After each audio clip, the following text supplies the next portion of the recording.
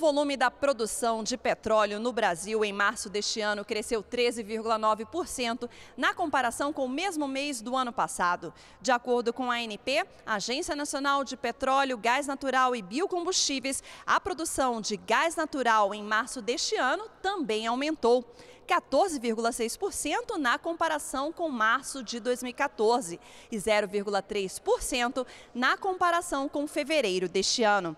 A produção total de petróleo e gás natural alcançou em março deste ano cerca de 3 milhões de barris diários, sendo cerca de 2 milhões e 400 mil barris de petróleo e aproximadamente 95 milhões de metros cúbicos de gás natural.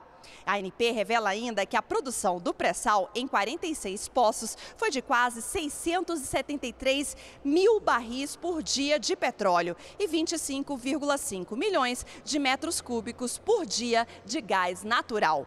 De Brasília, Daniela Almeida.